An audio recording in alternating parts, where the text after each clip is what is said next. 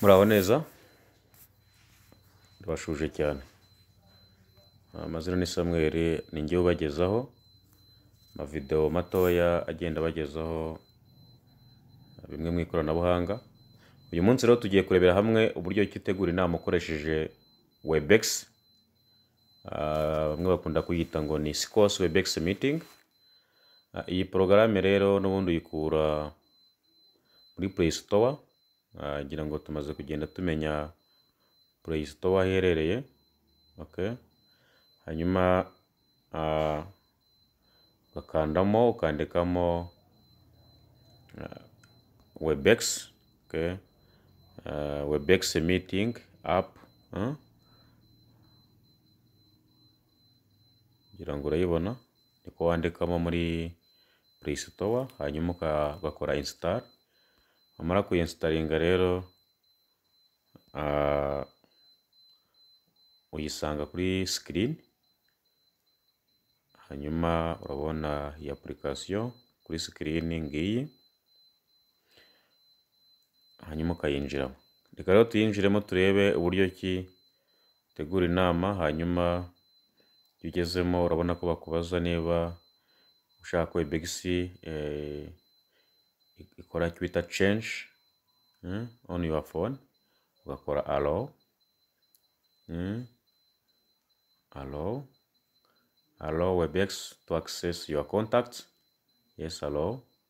Allow webex meeting to access this device location. Yes allow.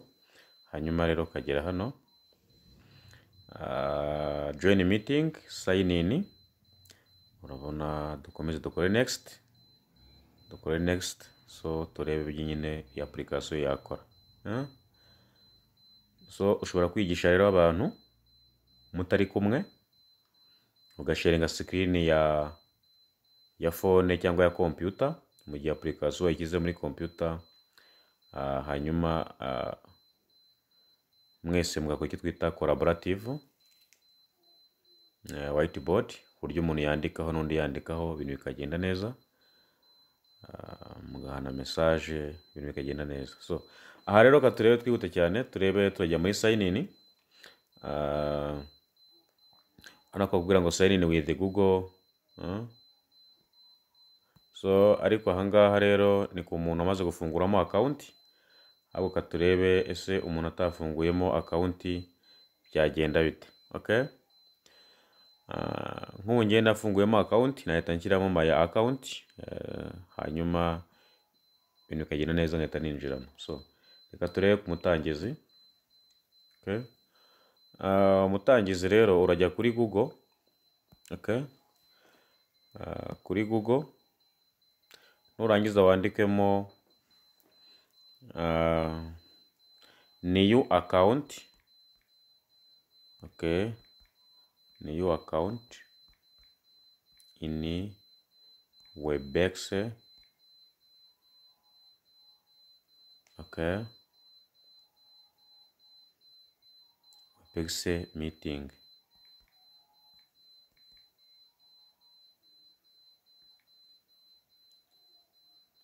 So enter.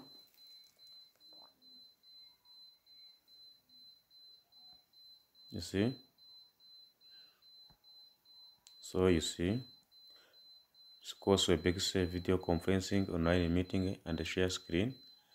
So hari ahantu bugira ati creating new Webex account. Uh, or Scores Webex free account registration. So aha ni ho ni ho sawa okay. Reka duce aha ngaha hmm? dukandemo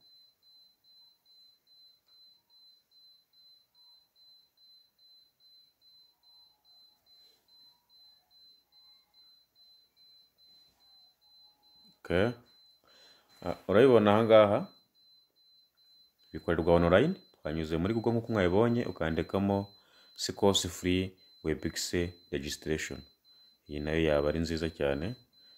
Eh, kuko urabizi ko iyo wanditsemo eh, ibintu wandikamo neza baguha ibindi utakeneye. So ni byiza ko umenya ijambo ugiye guhereza kugira ngo iguhe ibyo ukeneye byihuse. So wanditsemo rero sikose free webex account registration bahita babiguha byihuse.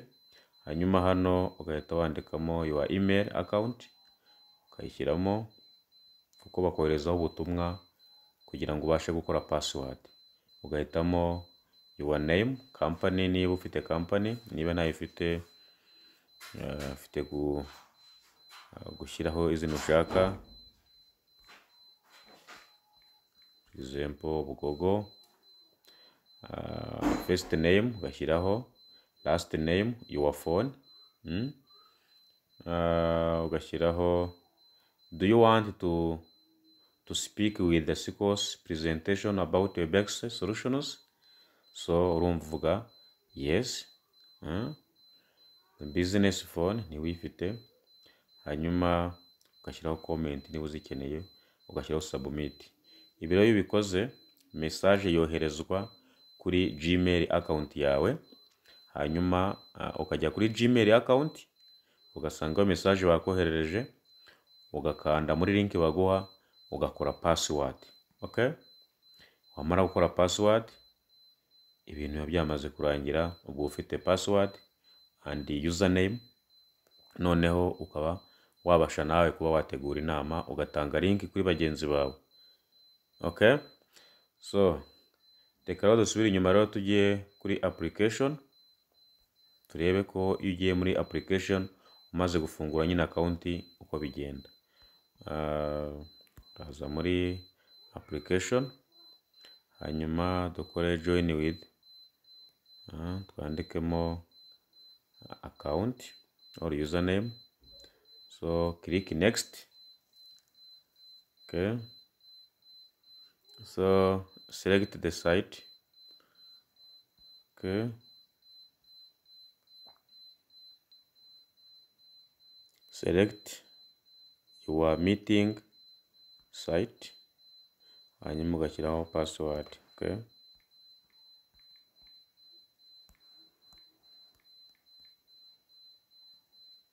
So click next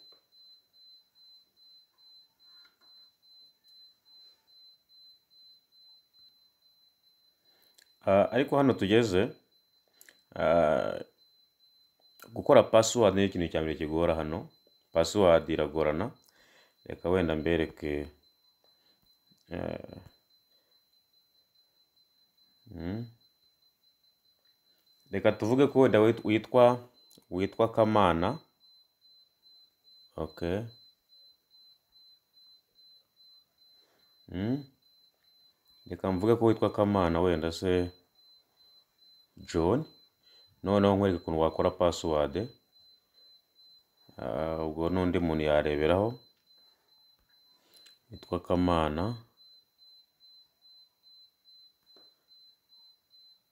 john. Ah, nujya gukora password muri sikos webex meeting ah, urandika ka iri capital urangiza ushyireho a yego ushyireho imibare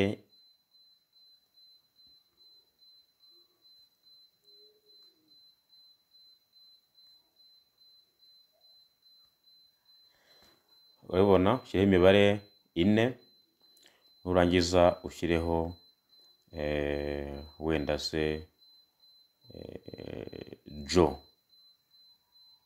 urabibona twatangije capital leta dushyiraho a imibare ine dushyiraho jo iyi password niyo bafata nk'aho iri strong. So iyo ushatse rero gu- guhimba cyangwa se gushyiraho indi password imeze ukuntu ntabwo bayemera. So ni uko wakora password. So niba witwa uwimana clarisse ufite kwandika u iri capital ego ugashyiraho wa iri small letter ugashyiraho imibare ine ugashyiraho eh, inyuguti ntoya ebyiri. Hanyuma password barayemera. Okay cyo kintu kigoye muri muri sikos so hanyuma rero dukore login turebe ukuntu bigenda bigezeyo.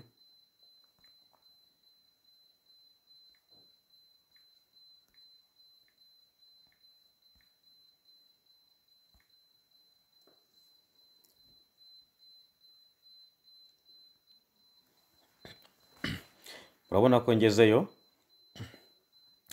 Uh, allow webex meeting to access your calendar okay urakora allow so aha barakubwira ati good evening samuel. Kubera ko uh, mfunguye iyi cyangwa se ndi gutegura ino nama ari nijoro uh, barahita bambwira good evening nyine bansuhuza okay urabona ko haranditse ngo start meeting cyangwa se join meeting. Mfite gutangira inama cyangwa se nkayijo.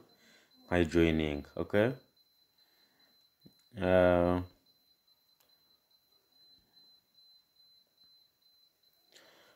noneho hano hagati murabona ko handitse ijambo eh, meetings urahabona?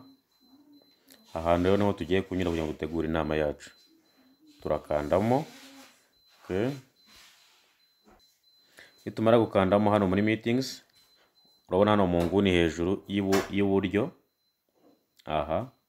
Hari ijambo ryanditseho ngo plus. Uraribona hejuru hano? Hariho ahantu handitse plus cyangwa se guteranya. Mu nguni y'iburyo aha rero ni ho dukanda kugira ngo uscheduling inama cyangwa se utegure inama.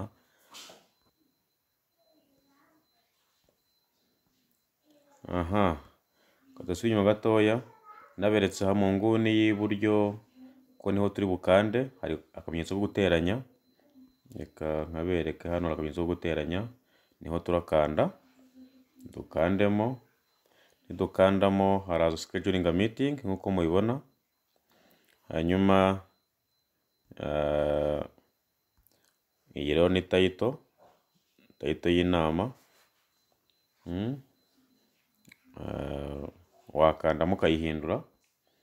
Twandikemo wenda se uburenganzira bw'umwana ko ari byo titire y'inama uburenganzira uburenganzira. Kandike wenda gutya. Hanyuma ahangaha ndahavivura kugira ngo password igaragare. Hano inter invitees ndongeraho email account. Wenda se kanshyireho iy'umuntu umwe. Nindangiza hano hari igihe uyu munsi ni kuwa gatatu tariki cumi n'eshatu z'ukwa mbere makumyabiri na rimwe. Ndahindura ndakandamo muri Wednesday kugira ngo mpindure nyine igihe inama yanjye izabera. Reka wenda mvuge ko izaba kuwa gatanu tariki cumi ne cumi n'eshanu mfite nkanda seti noneho igihe. So igihe ndakanda muri saa tatu kugira ngo mpindure igihe inama izabera nindangiza nkarage urushinge. Urabibona? Clockwise anti clockwise reka mvuge ko inama izatangira saa munani zuzuye. Hanyuma hano hasi hariho duration duration bari kuma isaha imwe reka nkore wenda se nongera igihe nifuza ko inama izarangira wenda se izamare iminota mirongo itanu urabibona iminota mirongo itanu. So hano handitse schedule. Schedule rero ni ukwemeza nyine ko inama yawe igiye muri sisiteme ngira ngo hano mu nguni y'iburyo hari ijambo schedule. Nidukandamo inama iraba yemeye.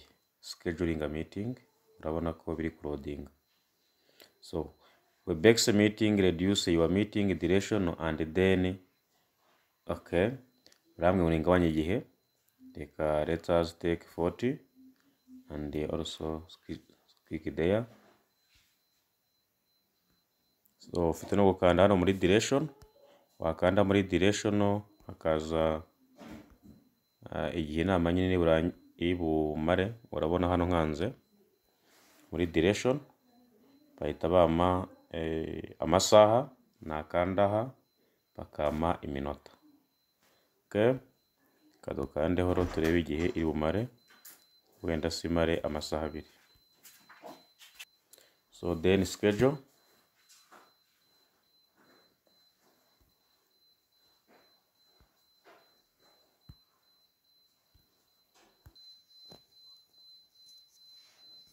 Okay.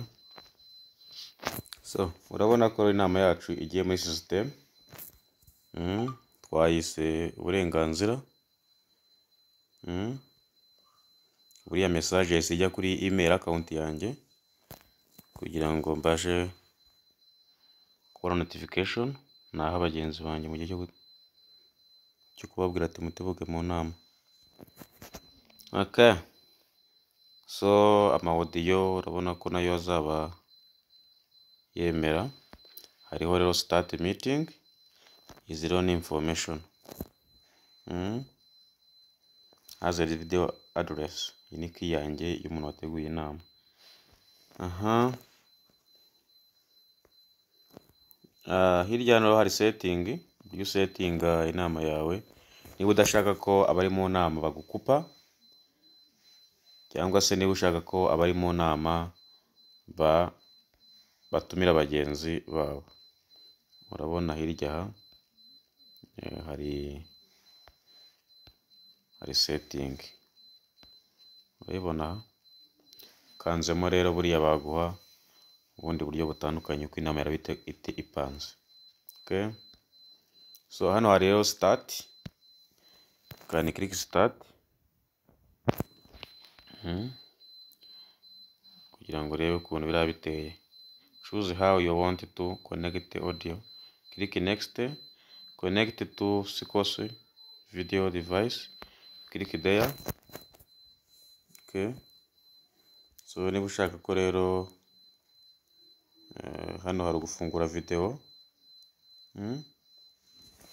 urabibona mm? Cyangwa ukayifunga mm? so ni igihe ushaka ko rero ah, mukora murebana urabona aha ngaha ni setting yo kugira ngo mukore inama murebana mm? hari mikoro na video okay? so Ah, hirya aha ngaha handitse record Ah, iyi record ni igihe wakoze inama ubushize amarikodi yose ayibikamo okay, reka turebe nidukanda muri iyi record haraza recordings ikintu kirimo ariko nitujya muri past hakaboneka inama zagiye zikorwa nanjye mu gihe cyashize igihe cya mbere kwa gatandatu bibiri makumyabiri mirongo itatu n'imwe z'ukwa gatanu bibiri makumyabiri mm? izi rero zose ni inama zabaga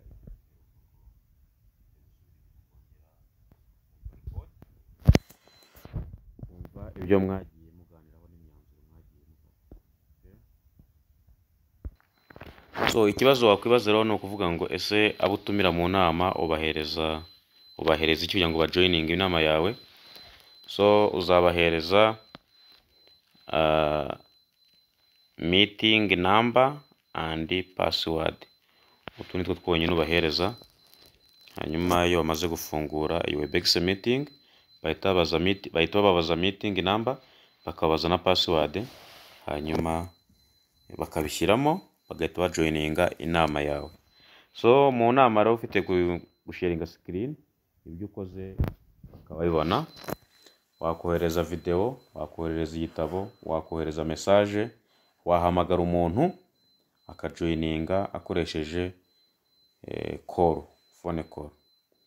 So mwakoze cyane rero Ah, mutibagiwe gukora subscribe mukore subscribe hanyuma ubumenyi mubusangije bagenzi banyu kandi noneho ah, birumvikana namwe mubigerageze murebe ko mushobora gutegura inama mukaganira kugira ngo igihe cyangwa se igihe cy'ikoranabuhanga nyine kitadusiga. So thank you. Have wonderful time.